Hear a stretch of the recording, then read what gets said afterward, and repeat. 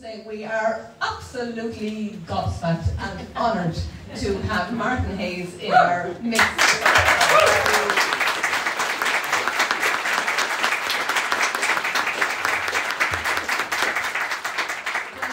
when we started planning the Fleadh, one of my colleagues, Yvonne, wasn't happy until we had Martin Hayes on the bill. So yeah, he, he has a book published, so we were absolutely uh, thrilled to find an, an, angle for the library. So not only has he got his fiddle here today, but he will talk about his book hopefully as well. Uh, alongside Martin, I cannot forget uh, Toner Quinn. Uh, Toner Quinn is a musician, writer, editor, publisher, and lecturer, and he has the welcome task of uh, introducing you to Martin Hayes and to talking to him this afternoon.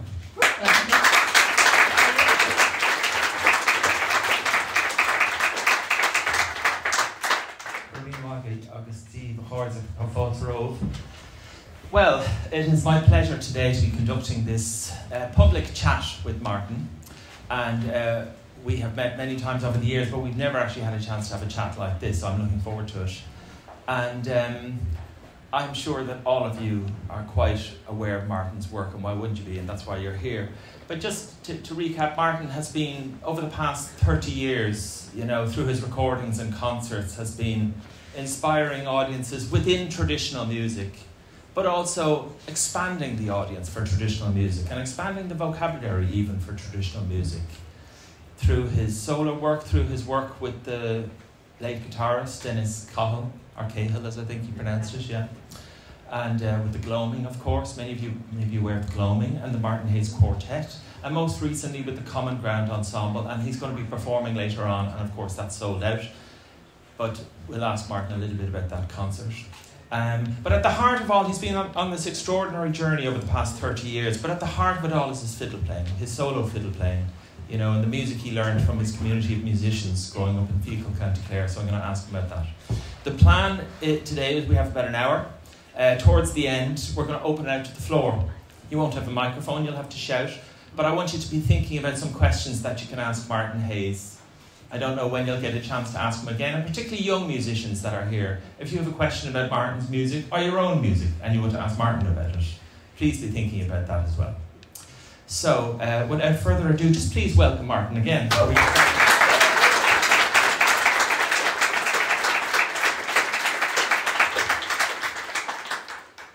Martin, where do we start? With why you're here at the Fleadh Cheoil, which is this concert tonight. Do you want to tell us a little bit about that for people who can't get a ticket at this stage? Well, um, yeah. Uh, why am I here? Uh, the well, it turns out uh, that the bishop here is, is a neighbour of mine from, from East Clare, uh, Gerard Nash.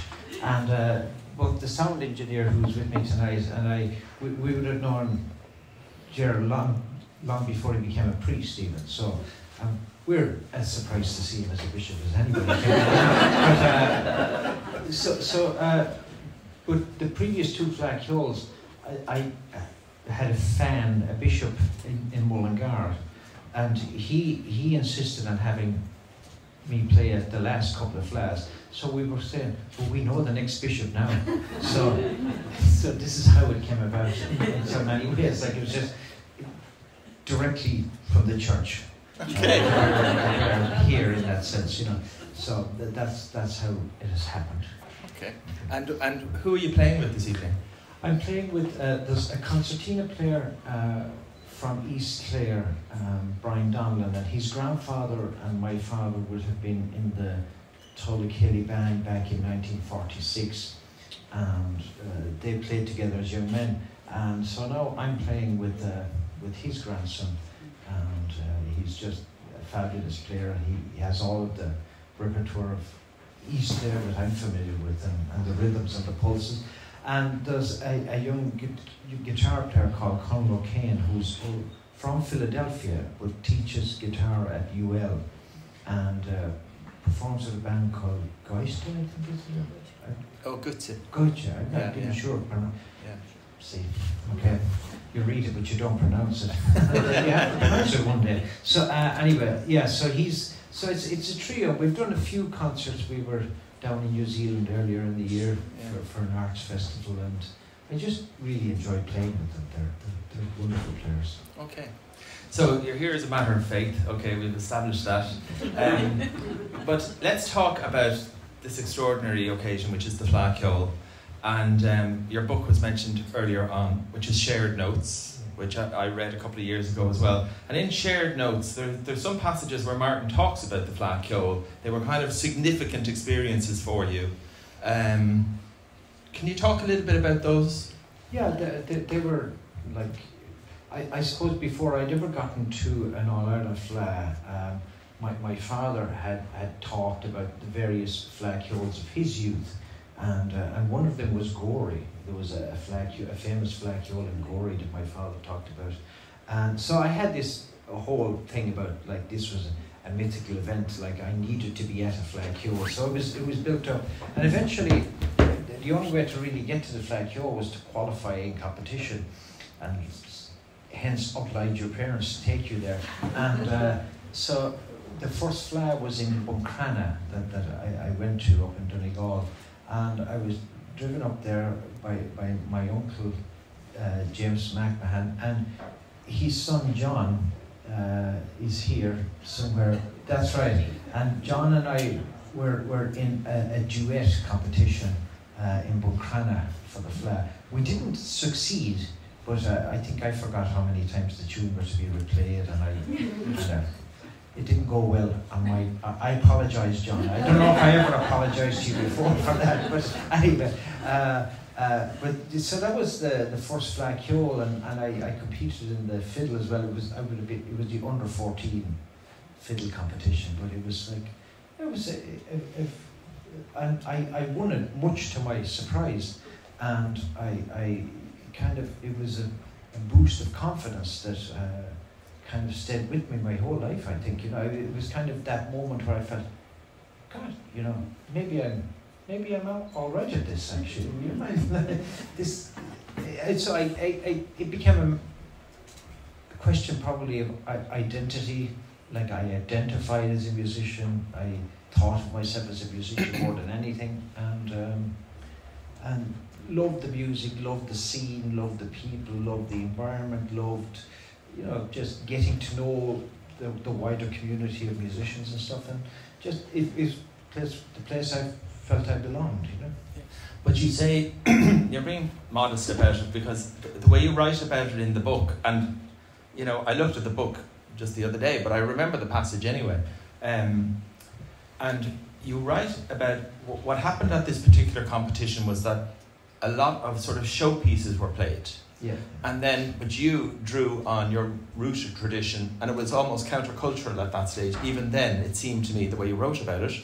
Yeah. but then you said that you just went up and you sank into the music and played out into the world, which is still what I try to do today. Yeah. So you had that approach at 14. Yeah, I, I did. And I, I, I, a lot of the things that I learned to do when I was very young, I think kind of happened accidentally, you know. I, I just kind of, like, the way I learned music, you know, my father was a fiddle player, and so there was lots of music around, but there weren't really classes as such. The, like, it was only a rare number of occasions when we actually sat down across from each other and he tried to teach me some tunes.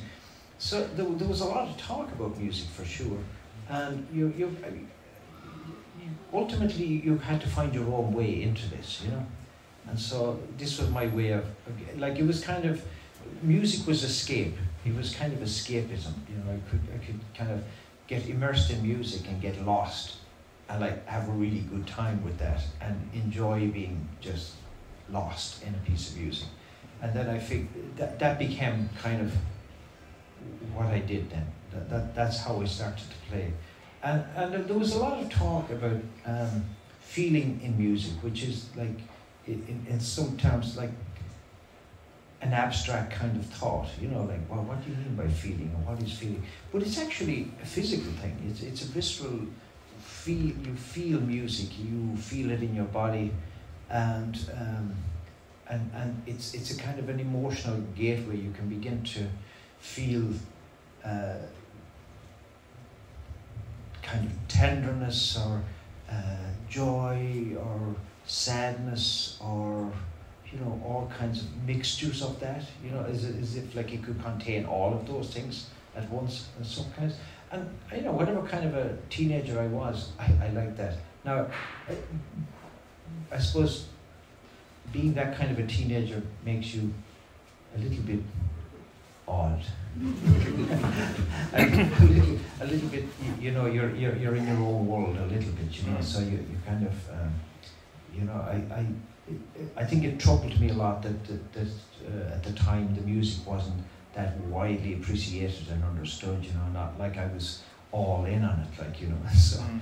but anyway, but it was good to learn how to navigate that world as well, you know, where, yeah. where it wasn't that appreciated. Yeah, you, write about that kind of the alienation from school and connecting in with the music community, which is where you find your identity. But um, is there a tune from your teenage years that you still enjoy playing that you can think of that maybe you didn't play for us now? Yeah, sure. Um, yeah, in fact, a lot of them stay with me. Mm. Yeah. Uh, let me think. I'll, I'll, I'll play it.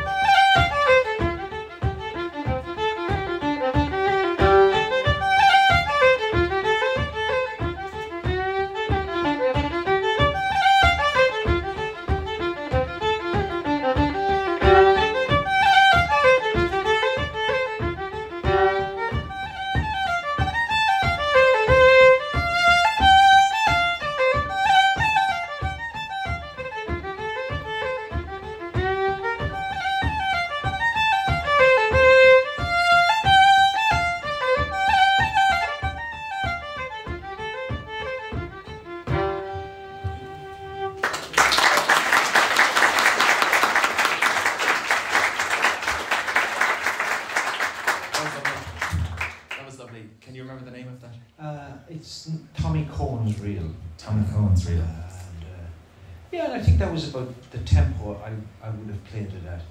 So I was, I was I was a little slower than everybody. and uh, does that come from? Does that tune come from the repertoire of your father, or who? No, I, I got that like like a lot of people. I, I had records too, and I just sat down and went through them. This was a record of Sean Ryan, Pat Lyons, and Sean Ryan's wife. Right. I think it was called Return to the Cliffs of Moher or something. Like a different Tipperary. I don't know why the album was called Return to the Cliffs of but but somebody in marketing somewhere thought that was a good thing to do, and uh, yeah. I, I would have learned most of the tunes on that album. I remember. Yeah. But I have to ask, and I know not everyone here will be a, a musician, but for the musicians after you're playing that in G minor. Yeah. And is that the way you learned it, or did you? There seems to have been something about the musical culture of your area that that key was used a lot. Yeah, it, G minor is like uh, it's slightly sadder than like just straight up D or A or something yeah, yeah. like that. And um, I, will tell you a little interesting story about it. Uh, do, do, are you familiar with the speech project that Jerry Diver?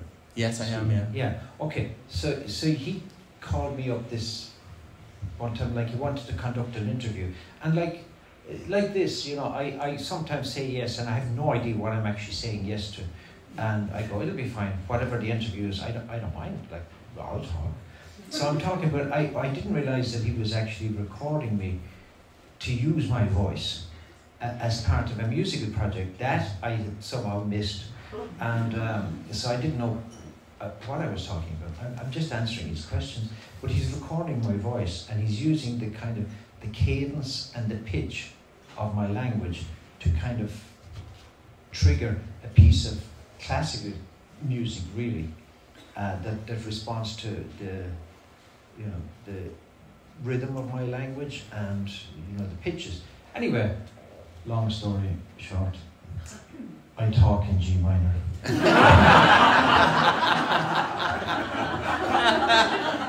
okay.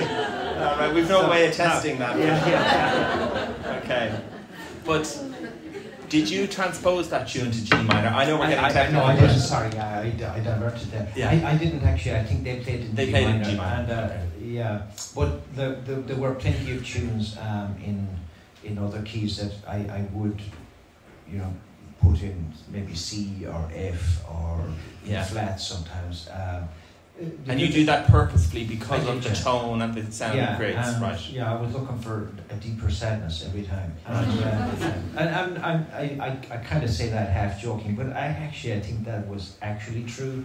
Um, I, like the, the kind of like the way in which would, one would feel blues, for example, or, any form of music seemed to be a way of feeling that was the, the first gateway into the feeling of music for me was that kind of experience. Like, like for, if I play it, you know, I'll, I'll do something here. You know, like, you know, here's the Books of one So,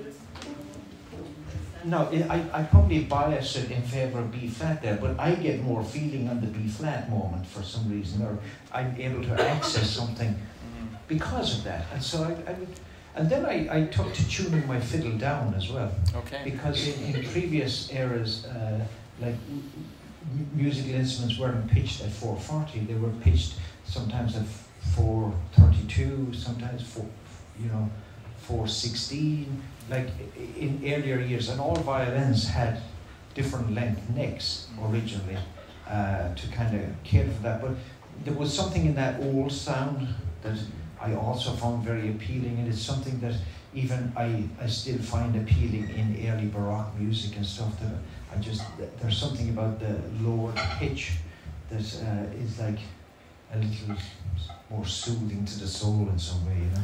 But was that, you know, why were you looking for this deeper sadness? Were you trying to reflect the musical culture around you, what you learned, or was this something that wasn't in the culture around you that you were looking for?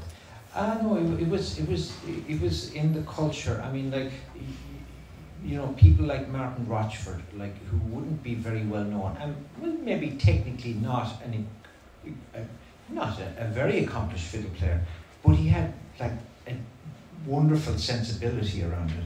And a, a wonderful understanding and, and like a real yearning for that feeling. So I could always hear that in his music.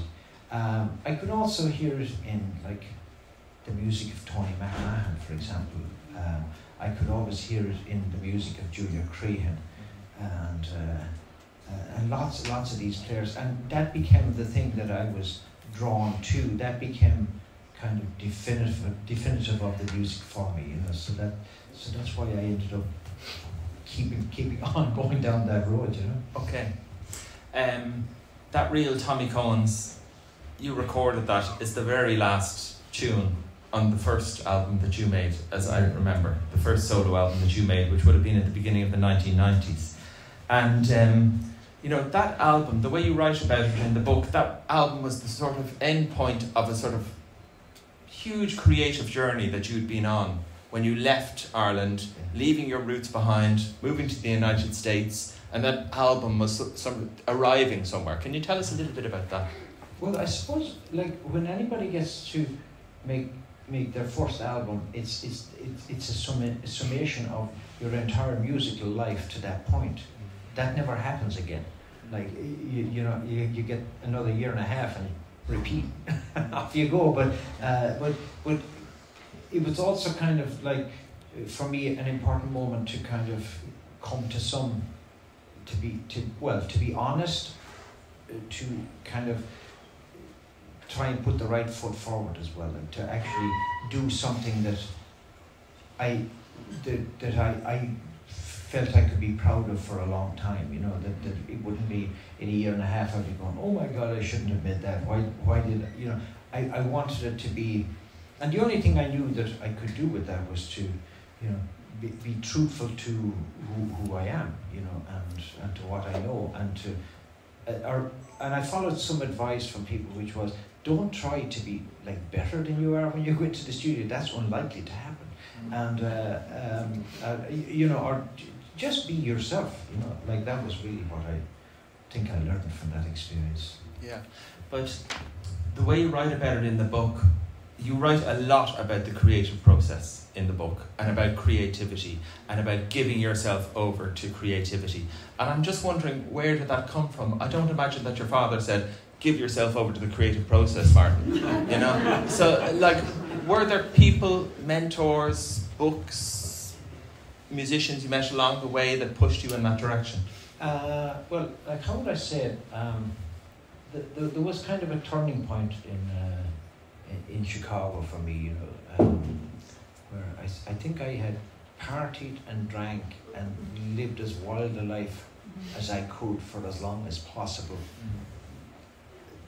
as long as I could sustain it. And I, I got to a point where I, I saw, you know, this is not going to work.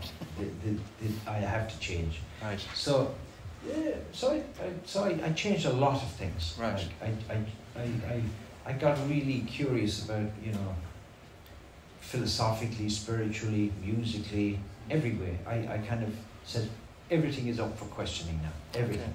You know, so so it was like, and I remember I had this journey with traditional music which, which where I was saying to myself, I wonder is this just like is this any good really? It, uh, was all this stuff about this melancholic music and all these things, maybe that's just sentimentality, you know, like maybe I'm just feeling attached because of family and, and maybe I, I can't separate my sentimentality from, you know, from, from what's real and what's not real, you know. Mm. And uh, so, so, like, I think to feel empowered to play music, you have to ask some questions. Like, is it any good? Well, there's no point in asking that question if you can't accept the answer.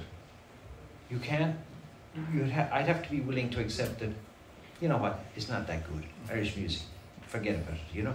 So I, I was willing to accept that if, if that was the outcome of, like, really investigating it further, you know. So, so I think that um, in, in, in, in the end, I did kind of, you know, sort it out in Chicago, you know, I kind of, like I, I would I would and I would say I would have like where's Nash now? I would have I would have given the Catholic Church the same kind of analysis, you know. uh, and um, uh, you, you know lots of lots of things like that. You know, I would I would have like you know held up like it would have been the first time politically where you know like I would have grown up in a Fianna Fáil family house, you know. So so people would think you're you're your Fianna Fáil. Well, I, I didn't get to choose that. Like that kind of happened to me, you know, like or something. But then in America, I was going, well, what do I actually believe politically? You know, like where do I, so I got to kind of refigure my values and my principles and, and what I felt and thought about there. So so you know, so I had some great years in Chicago of kind of rediscovering and being willing to change and being willing to uh, challenge just about anything, you know. And so that came as a result of, of a community of people. Yeah. I, I just seemingly had like a lot of very interesting, curious people in my circle that we spent a lot of time, like late at night, like debating and just going through all of these kind of things. Know? Is there uh, a tune from that time in Chicago that you can think of that you might like to play? Ah, I, I, I don't like know if there's a tune specifically, but we could. What is the Chicago read? Yeah.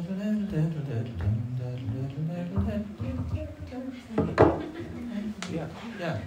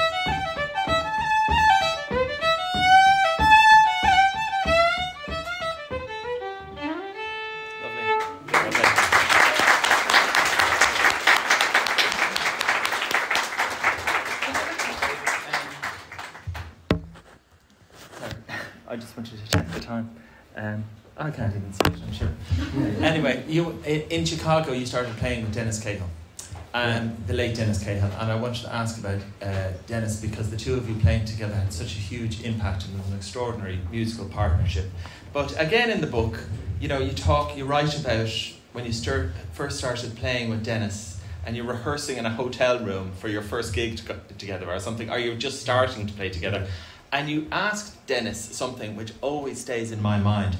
You said, you write something like, um, I asked Dennis to go in service of the tune with me, not to accompany you. Yeah, yeah. Well, I, it, it's it's a small point, like, but it's an important point, you know. Uh, just musically overall, uh, as to like one, you, you know, it's very easy to over focus on on the musician and the playing, and it being about the musician. Whereas, in, of course, in true reality, it, it is always about the piece of music, and uh, and so like if you decide that you do what you need to do to reveal what is natural and beautiful in a piece of music, then then then you you kind of can see a roadmap. You know of, of, what, of what you would have to do for that to actually become true. But but it often means that um, you're you're playing some very simple things at times. You know, very uh, childlike things almost in a way. In fact, I would say over time I play simpler and simpler and simpler. You know, I don't, I don't know where this is headed, but uh, it's, it's, uh, I, I, I, f- I find myself putting less into the tunes now, not more. You know. Do you actually find that in your own music that it's becoming simpler and simpler? Yeah, yeah, it's becoming more and more basic, and I'm going, are people going to reject this? I mean, what, people going to say he can't play. No, I, I'd actually disagree with you actually, but anyway, I mean, just from listening to Martin, from listening, I was, I heard you play at the National Concert Hall during the pandemic when you had to do a solo concert, you know, yeah, yeah, yeah. and I thought your music was actually becoming more complex. Right. Yeah. maybe it's me that's getting more simple. no, maybe, or maybe it was the pandemic. Um, but how did Dennis, you know, did you actually verbalize that, or was it sort of just a roundabout conversation? Did you ever say to Dennis, "This is what we're doing"? You know? Yeah, no, I did. Like we really talked it through and, and thought about it, and because one of the things was like, uh, and he knew this too, that he was going to do some ridiculously simple things that uh, would be so simple that, that many others wouldn't be willing to do it. But that's actually complicated when you think about it because it requires a lot of self confidence to actually do very minimal and simple things and do it on a stage in front of a lot of people. Uh, because I, I do remember, like in the early years, there was somebody like that just like thought it was the most ridiculous thing they'd ever heard, like these like four or five notes every now and again, like coming on the guitar, going and I'm playing away, you know. Yeah. And people thinking, what's this about? But of course, I mean, you, you, can hear lots and lots of examples of things like that in other forms of music, you know. And so I wonder, well, why, why don't we do that? I mean, w- one of the things that I, I became central for me was the idea of scaling back to what's naturally beautiful in a melody. And, and letting the melody actually do the, do the talking, you know, in a sense, and just like instead of like focusing on one's playing, to focus on the natural beauty, the, the, the natural beauty of Irish tunes. And it's an enormous treasury of beauty. Like the, there are thousands and thousands of incredible melodies that I find just that that is what the treasure is. It's not just the players. It's it's the like lines of melody that have been created over such a long period of time that are so beautiful.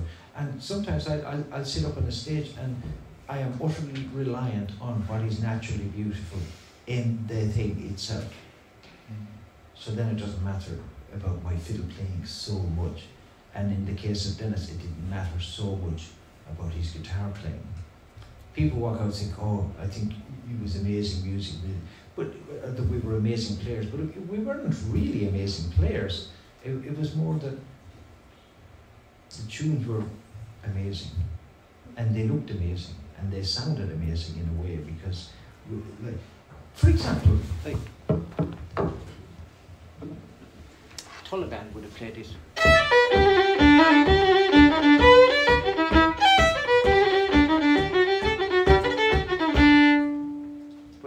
Dennis and I just played it very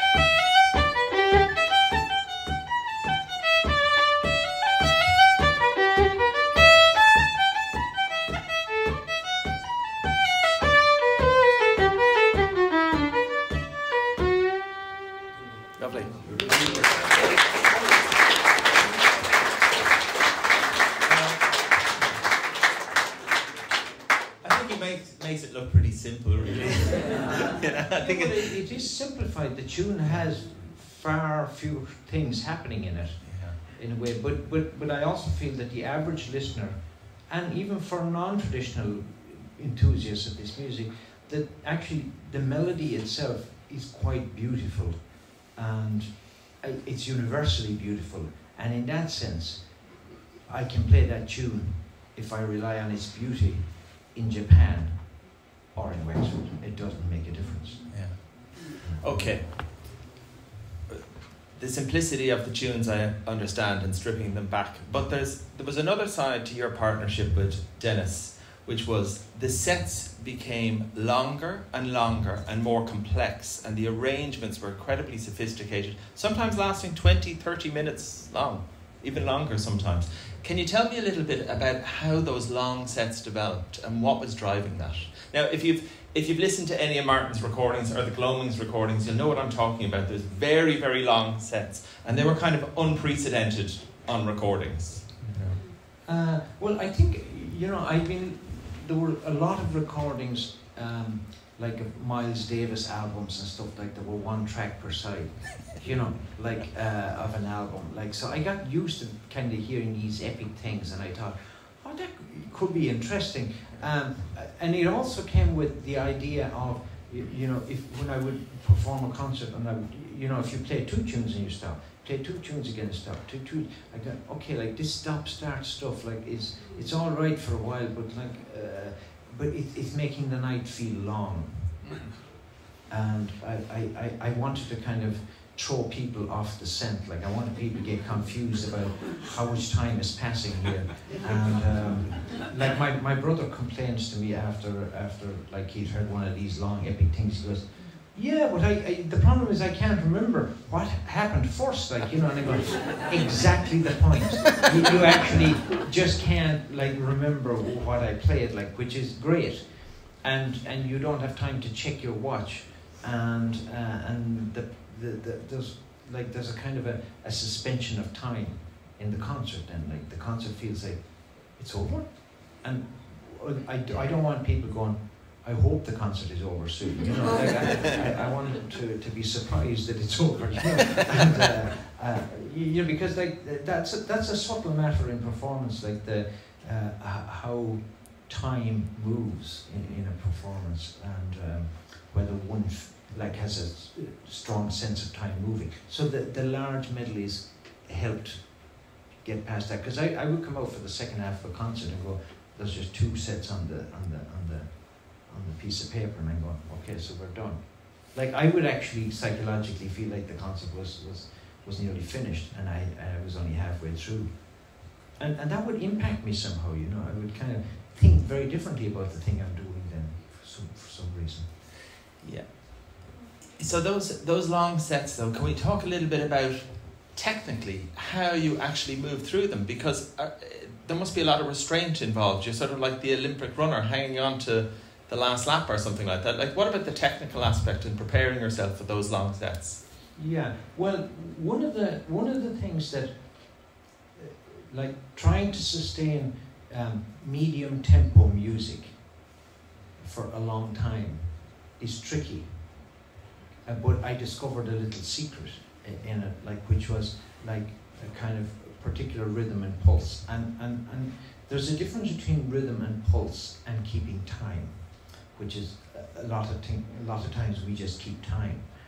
But to actually generate a rhythmic response to a listen in a listener that is um, that happens unconsciously, that, that you, you the, the, the other person reacts to the rhythm and feels it. Like for example, if I, I'll play a slow tune Okay. with, with a bit of pulse, I'll play it without the pulse first, Mhm. and then I'll put that, and it's very subtle, but it means I can play the tune four times as opposed to two times. Okay. Yeah.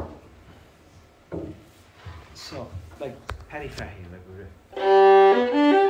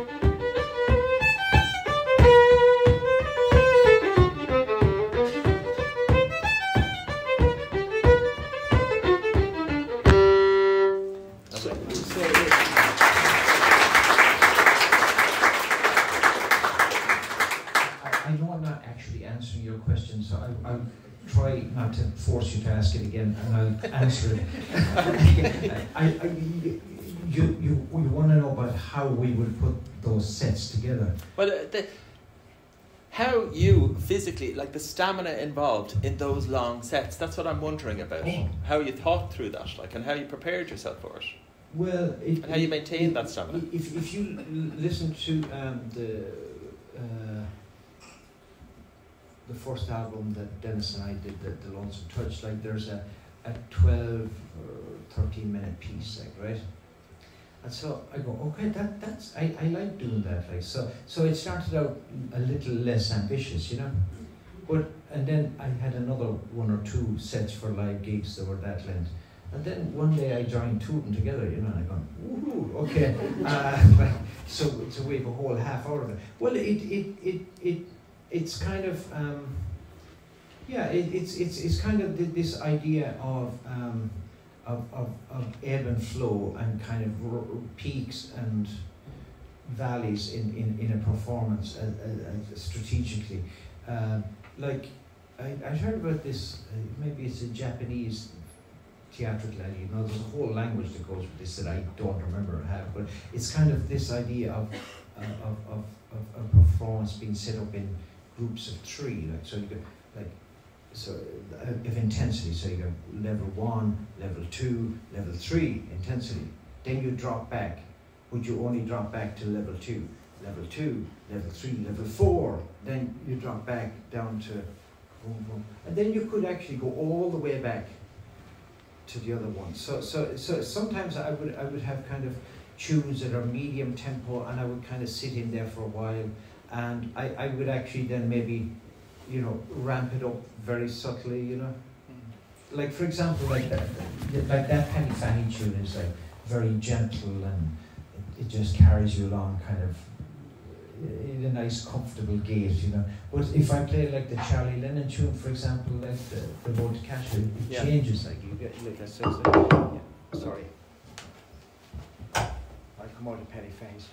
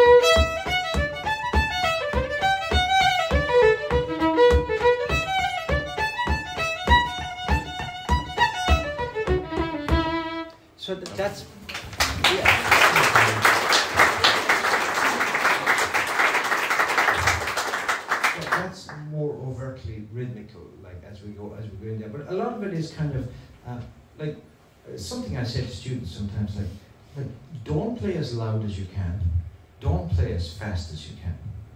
Play somewhere in the middle of all of this, and allow yourself the space to go below it, to go above it. But you can set that point, like you can decide how loud things are, how loud your fiddle is, and you can play louder and quieter than that. You can play faster and slower than that. So, so being very conscious about the tempo you pick, because sometimes people just don't think about the tempo.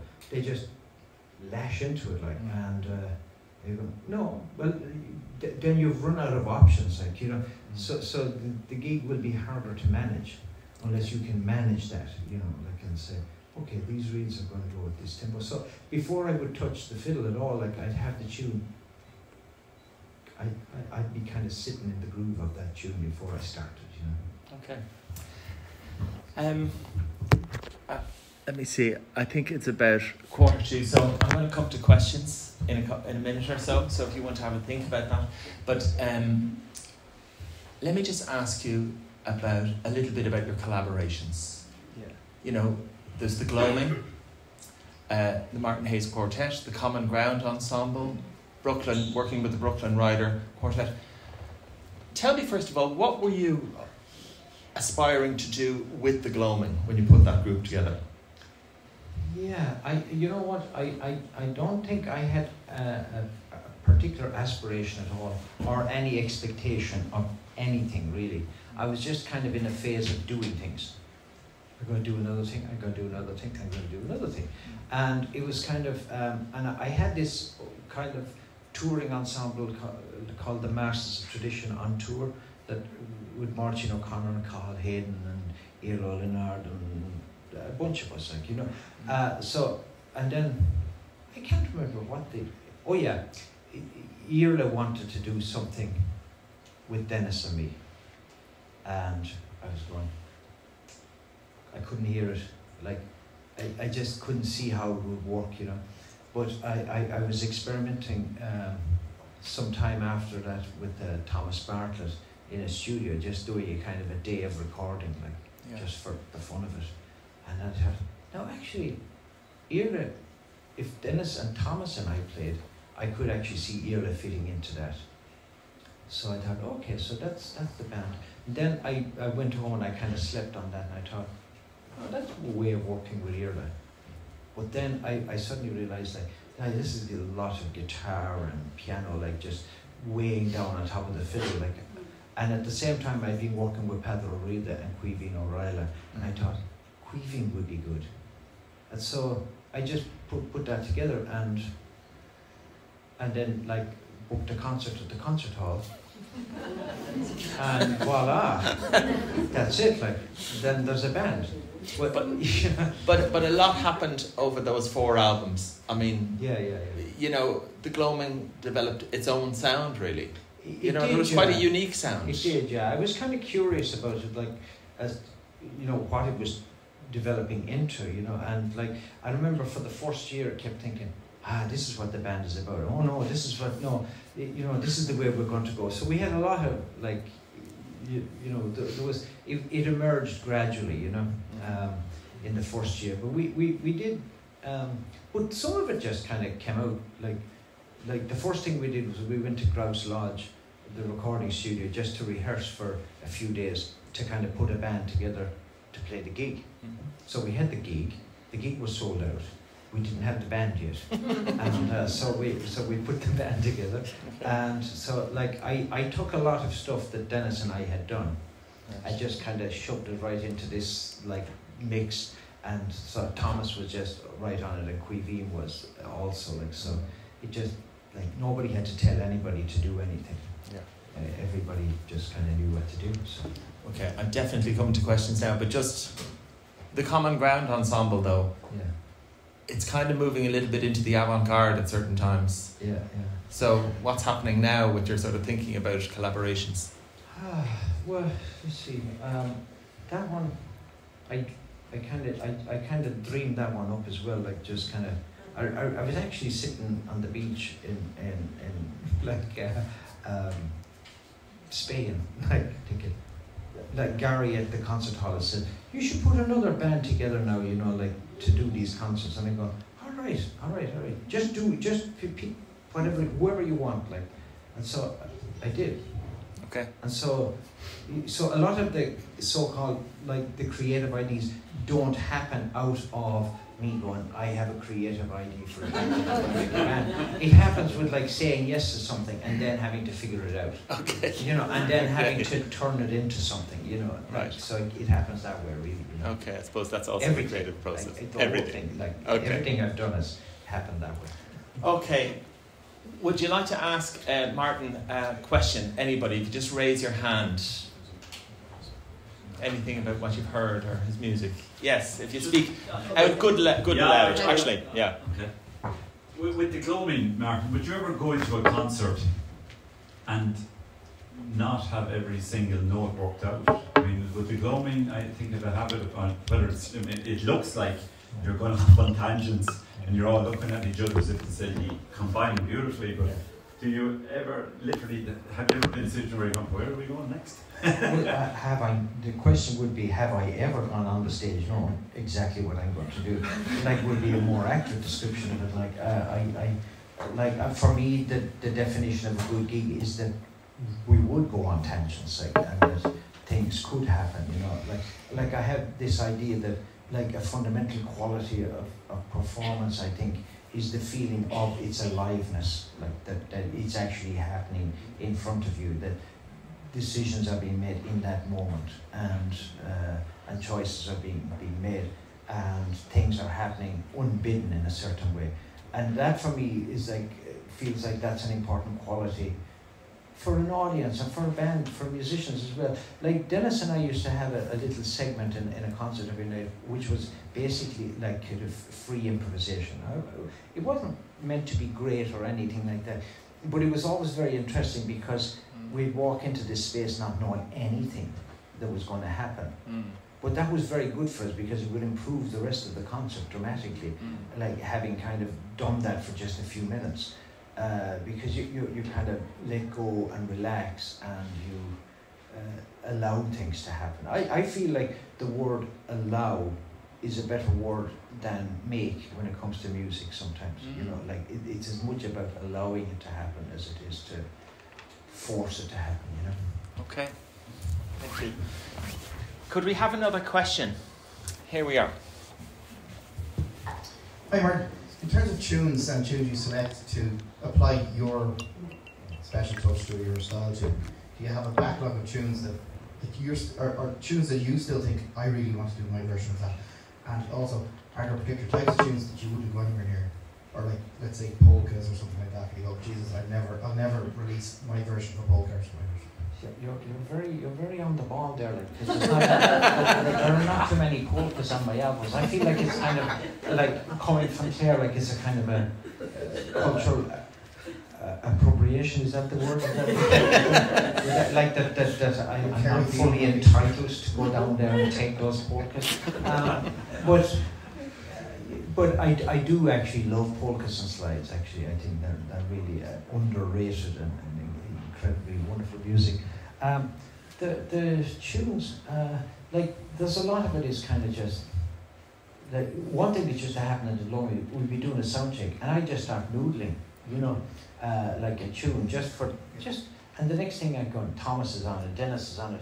Okay, I wasn't going to choose this tune for anything, and the next thing I know, we're playing it that night in the gig, you know, and that's like a, a lot has happened just like that, you know, just like, like if I'm not careful, like I'll end up like performing the tune, you know, and and I'm only it's just like noodling something, you know, but. And, and there is like a, a backlog of tunes that go all the way back to my childhood that I still love to play, and and I'm still learning tunes, and I still have a I have a, an iTunes playlist called Tunes to Learn, and, and I, I, I dip in there every now and again and kind of uh, you know fish out a few tunes, and uh, yeah. Okay. Here's another question. Where does music come from? Sorry. where, where, where, where does the music come from? You, you mentioned noodling. Is there a difference when you're if you're writing? I- I'm, I'm not a writer of music, but I, I, I listen. Um, is there a difference between improvisation and actually writing? Wh- wh- where, where, where, where do the sounds? Did, did, did it come from water flowing? Where did the sounds, Yeah, yeah. music sounds, come from? Well, like, um, I, I, I yeah, like, like I, I don't write that much music, but um, when I do, you kind of just kind of like have to allow ideas to emerge, like out of nowhere, you know, like they, like it has to come out of somewhere, you know, like so you get a little kernel of something, you know, that happens maybe accidentally uh, or, you know, it's a bit like that idea of just throwing things at the wall and see see what sticks. Uh, and so you get you get a kernel of something to work with, and then you're kind of in a fixing and sorting out. Then you're you're you be, be, before you know it, you're kind of problem solving. You're going, there's something wrong with this tune here. This isn't right this way. I no, it needs to go in another direction here or something. So so it gets fairly mundane uh, after a little while but it, it, but it, it, it does start with like like uh, what I was saying there earlier that idea of allowing you know um, like like so so I would improvise Yeah. to create something and that, and that is kind of a way of letting ideas emerge Yeah. that, that you're not that consciously aware of that you, you, you that I wouldn't be able to make that choice so so Yeah. so, so so I might get something from, from an improvisation so anytime I'm asked to write anything I just start smothering all kinds of like ideas I just let it I, I have a recording system on the, on the computer at home like where um, where, where I can kind of keep looping there and I can just keep like coming up with another version and another version Mm. and another version and another version and then I, I,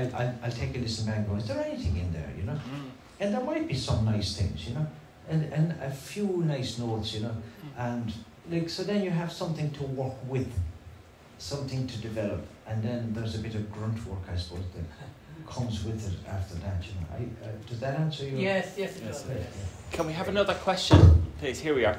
Um, uh, hello, Martin. It's uh, lovely to meet you. Um, I was just wondering, um, do you have any like tips or advice for um, young musicians, like with the fiddle, that you kind of learned along the way?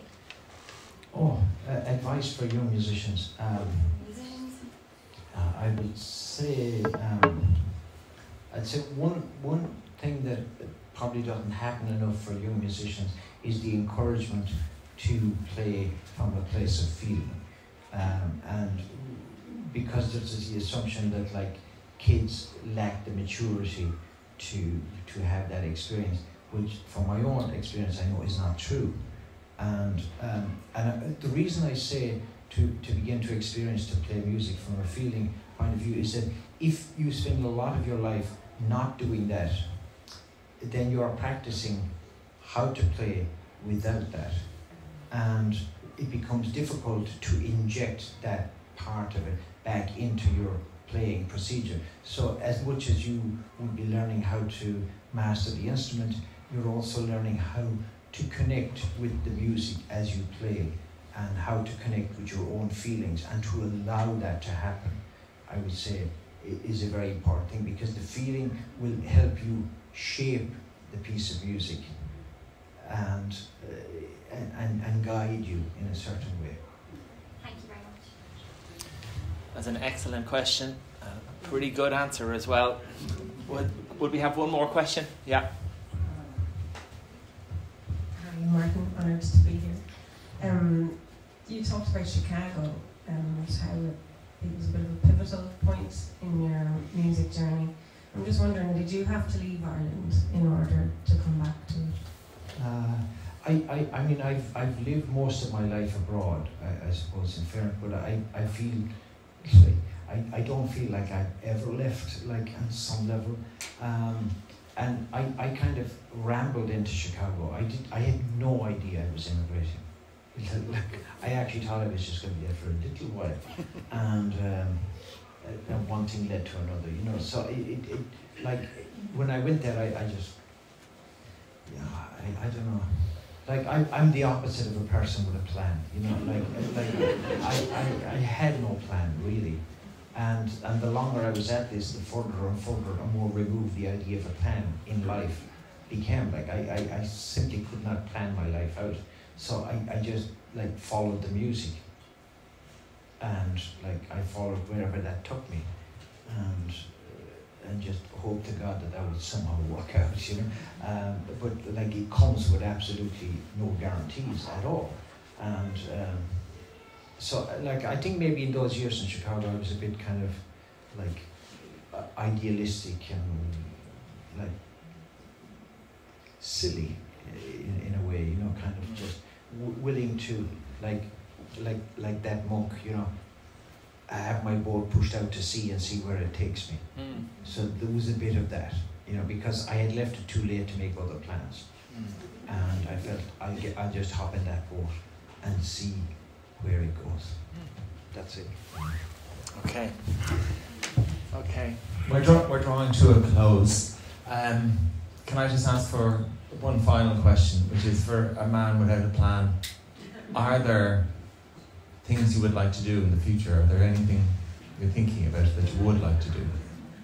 Um, I, I, I, I'm drawn to like collaboration.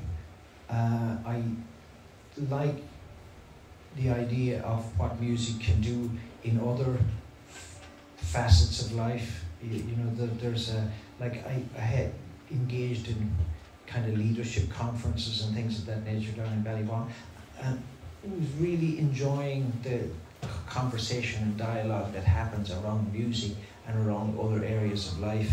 Um, I enjoy.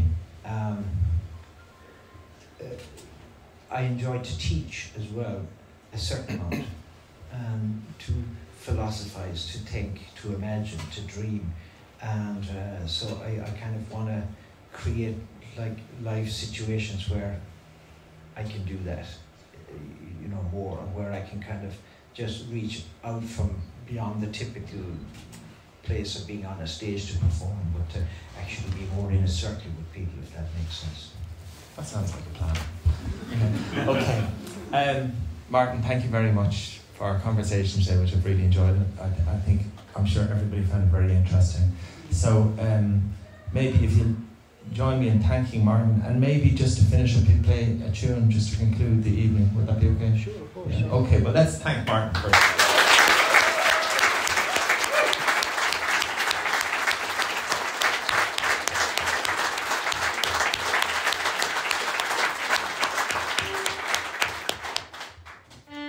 What should I play? Why didn't you play something you're going to play tonight? Oh, well, I don't know what I need.